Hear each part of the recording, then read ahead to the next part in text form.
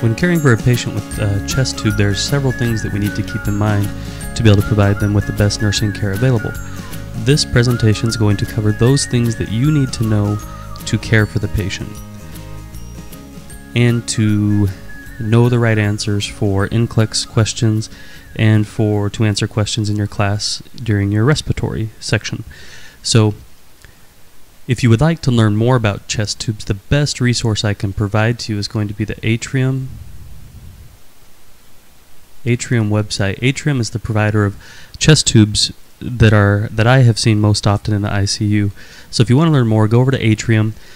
They have pamphlets and everything about different chest tubes and different things that you need to know to understand the more complex things with the chest tubes. This presentation is going to allow you to understand exactly what you need to know when caring for a patient and to pass NCLEX questions. So first of all, let's talk about the indication for chest tubes. Primarily, we're going to be giving chest tubes to drain fluid, blood, or air. So some of the things that would require a chest tube might be like a pneumothorax, which is a collapsed lung, hemothorax, which would be blood in the lung, uh, post-operative chest drainage, other post-operative reasons um, that a patient may need to get some of this fluid off of their or fluid or air. Uh, sometimes abdominal surgeries or back surgeries can cause a little bit of uh, a pneumothorax, so that would require uh, relieving that air. Other reasons would be to establish negative pressure or to reestablish negative pressure, and then also to facilitate uh, chest expansion. So, for example, uh, with like a, a pneumothorax or something like that. Okay? So let's look over here. Like I said, Atrium is the brand that you're going to see most often. Um, so this is the collection chamber here. You can see it can go all the way up to 2,000 mils. And this tube here is the tube that's coming from the patient's chest. So if you follow this cursor here, you can see there's some fluid that's being suctioned into the tube and then this is the collection port. And what you want to do is you'll want to mark like especially you can see there's actually a couple little marks here on this chest tube drainage system and you'll want to mark that every couple hours um, to do to be able to determine you know if if there is drainage or how much drainage there has been. This little line right here this is your water seal okay so what's going to happen here is that the water seal is going to enable air to exit, but not allow it to enter. So air exits can't enter. It'll be filled up to this two centimeter line. Okay. Um, and what that's going to do is the patient inspires, no air is going to be able to get in. Okay. They're going to be breathing without entering air, but as they expire, some air is going to go be able to exit there. Okay, now understanding that, we can understand, we'll, we'll get into that a little bit later. And then we can set our pressures here, and we can also set up uh, suction as well. Okay, so those are kind of the parts of the chest tube. This is the Oasis model by Atrium.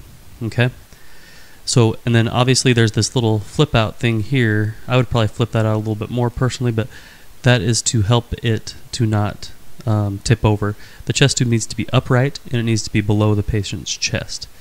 Okay. There's also little hangers here that can be hung at the side of the bed for transport, um, or if you just want to kind of keep it off the ground. But generally, it's just set at the foot of the bed. Um, with this out, it needs to be upright, it needs to be below the chest, kind of at the foot of the bed, and then you want to coil all the tubing up in the bed, so there's no, there's not a whole bunch of loops down here. All right. So that's the setup. Assessment. Tidaling. Okay, the first thing to know is tidaling. Tidaling is a movement with respiration, it's a rise with inspiration, and lower with expiration. That is okay. Okay, no tidaling would mean re-expansion or obstruction. We don't want to see continuous bubbling, but this tidaling is okay. We want to assess the water seal level. Okay, we talked about that in this slide. We want to assess this every couple hours. We need to have, and this is filled with sterile water. Okay. How do you spell sterile? Sterile, sterile water. And that needs to be assessed every couple hours. There's a port in back where you can actually inject more water So if, you if you run short of water, you can actually in, in put a little bit more in there, and that needs to be assessed very closely. Output. So this number would vary based on experience and based on uh, relationship with the surgeon, etc. But generally, you'll you'll report um, if it's greater than 70 to, to 100 mils every hour, and then you'll assess the coloring. If it's serosanguinous, if it's pussy looking, um, if it's sanguinous, you know you'd you'd want to report that. And then you'll just need to talk to the, the surgeon and understand what type of coloring they're expecting. This is one thing that I see nurses kind of maybe fail to do sometimes is to actually talk with the physicians and understand their plan. It can be more difficult maybe if you work at night, but if you do work at night, you can read the physician's notes either in the computer or if there's some sort of paper chart somewhere that you can read or the post op report to understand what they're looking for. Okay, you want to know what type of drainage and how much drain they're, they're looking for so that you're not freaking out about something you shouldn't freak out, out about and at the same time so that you are freaking out about what you should freak out about. Okay? So this is just a little view of a chest tube. Okay, this is the chest tube coming out of the patient. This is a nice little occlusive dressing. And then this would be going to the drainage system. Okay, so that's what a chest tube would look like on a patient. Alright, it gives you a little view. Now, some of the nursing care. Like I said, you're going to coil the extra tubing in the bed. Just kind of set it there, coil it, uh, just kind of have it sitting right there. Do not clamp the tube. You're never going to want to clamp it unless you have specific instruction to do it for a specific time and for a specific reason. The reason is because if you clamp that tubing, you can actually create a tension pneumothorax. Also, you're never going to strip the tubing uh, strip or milk. Some people will call it milk. You're not going to strip that tubing, which means pulling, kind of dragging your fingers along it to try to get some of the drainage out. Never do that um, because that could, like I say, create that high negative pressure within the lung. And that could be very detrimental to the patient. There's a couple things you're going to want to keep at the bedside. Okay, you want to keep hemostats, two pairs. You want to keep sterile water and the little syringe to insert more if you need to, and you want to keep uh, a sterile occlusive dressing. I know I spelled sterile wrong. I'm not sure. I don't remember. So you want to keep a sterile occlusive dressing. Occlusive means that it's like petroleum coated or something, so that it's not going to allow air to get in or out. Okay. So those things you want to keep at bedside for in case there is any sort of um, complication. We'll get into that in just a second. Okay, some of the complications that we can have. These are the two that you need to know about, um, and I would spend my time studying these and what you should do. So some of the complications are going to be an air leak. So what you'll notice with an air leak is there'll be continuous bubbling. Okay, that little water seal chamber is just going to be bubbling, bubbling, bubbling uh, quite a bit. I've seen this happen several times, um, and it's a very easy fix. What you'll do is you'll take your two hemostats. Remember, you have two hemostats and you're going to clamp. This would be an instance where you would you, you would need to clamp to try to find out where the air leak actually is. So you would take your two hemostats. Uh, let's draw our patient here. Here's our patient. Okay, and here's the chest tube coming out. Here's our drainage system. So what you would do is you see, you're noticing continuous continuous bubbling right down here. Okay, in your in your actual uh, water seal. So what you do is you would take one hemostat and clamp it right next to the patient's chest. And you're not doing this permanently, you're just doing this to assess. And then you would clamp, um, and if, if you notice that it's, it, it's still, if the bubbling stops, then there's a, a leak at the insertion site. Okay, so if the bubbling stops there, there's a leak at the insertion site. Okay, and then what you'll do is you'll you'll just kind of cross clamp and move your way down until you notice the the the um, bubbling stop. So you would put one hemostat here, one here. If the drain, if the bubbling stops, that means your leak is in this area. If there, if the bubbling continues, you take one of the, you take this hemostat, move it down here. If the bubbling continues, you continue to do that all the way down until the bubbling stops. If the bubbling stops, that means you found that your leak is within one of these areas. You identify it, and you tape it with uh, a very uh, good tape, and then you, you release this cross clamp and see if, if you can continue the suctioning.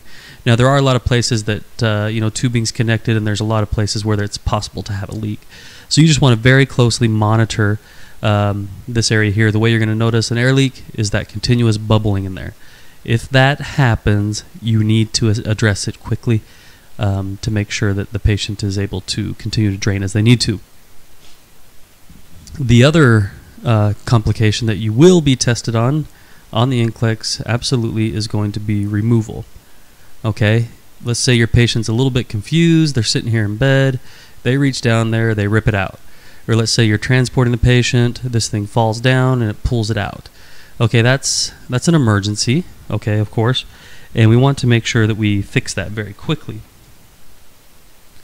So, what can happen is that the air can escape very quickly, and this can cause a tension pneumothorax as well. So, we want to address that very quickly. The way that we're going to ad- address that is we're going to slap. Uh, so, let's say this is the patient's chest here. Okay, and here's our chest tube insertion site. And let's say our little friend here got uh, a little anxious in the middle of the night and they rip the chest tube out. You walk in the room and it's sitting in their hand. Okay? What you're going to do, first of all, the very first thing you're going to do is you're going to uh, throw an occlusive dressing on the site. Now you're only going to, and then you're going to tape it on three sides. Okay? Now, the reason you're gonna you're only gonna tape it on three sides is you need to allow air to uh, escape during expiration to prevent that tension pneumo. Okay, so you want that, that leak, that, that air to still be able to get out as the patient expires. Okay, so you tape it on three sides, your occlusive dressing, and you leave it open on one side to allow air to escape in order to prevent a tension pneumothorax. That's the reason you do that. Be sure you remember three sides, three sides, three sides, three th- sides, three sides. Always remember that that is uh, required. Okay, make sure that that's what you're doing. All right. So these are the things that you absolutely must need to know uh, for uh, chest tubes and the NCLEX and for your respiratory section. Be sure to go visit us at nursingstudentbooks.com where you can find all of our books, top ranked Amazon books. Um, several books in the top uh, 100 uh, for all nonfiction books, and just about 15 different books available for you to study. Also, visit our blog at nrsng.com where you can find out about uh, new books, uh, some of our study apps for NCLEX, and all of our videos and podcasts and everything that are up there. All right, make sure you check those two things out, you guys. You can do this. Nursing school is hard, but you can do it. Um, thousands and thousands of nurses have done this before. We've all been through it before, and we understand how hard it is. We're here to help. So if you want to reach out to me, you can reach me contact at nrsng.com. I'm happy to hear from you. Uh, I love hearing all your, your stories and everything. Also, be sure to subscribe. You can click this little thing up here in the corner, or you can click on my channel name down there to subscribe and uh, we'd love to hear from you. All right. Thanks a lot, guys. If you have any questions, you can leave them in the comments. Best place to do though is to do it over on Facebook